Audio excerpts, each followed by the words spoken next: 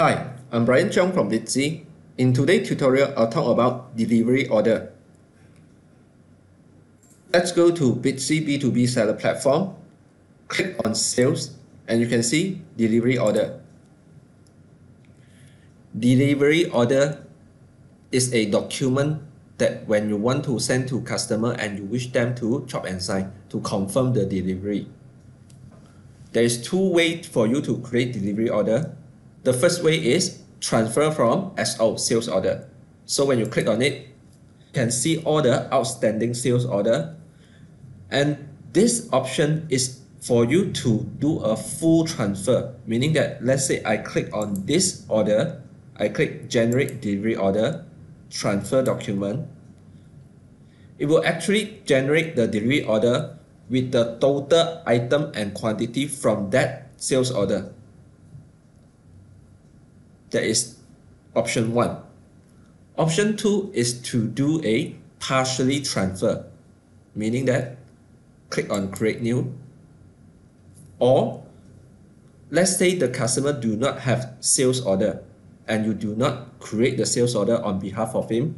So what you can do is you can actually direct do the delivery order and bypass the sales order. All the prefix information which you can edit it then select the customer.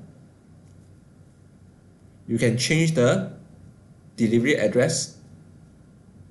Then what you can do is you can click on transfer product.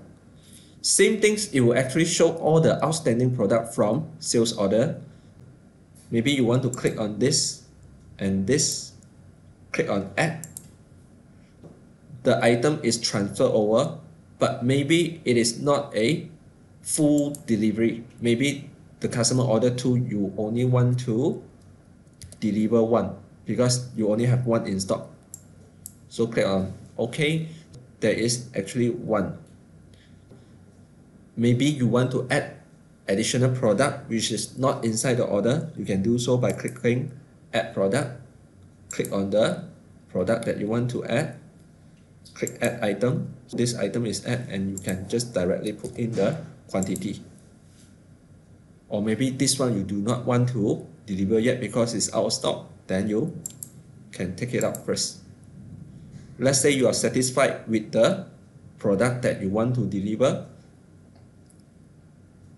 then click on save.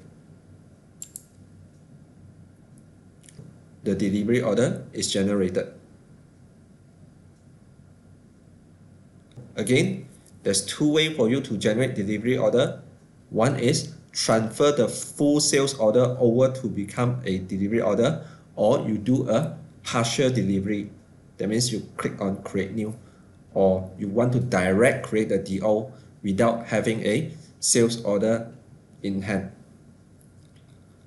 That's all for today. Once again, thank you for watching. I'm Bryan from Bixzee.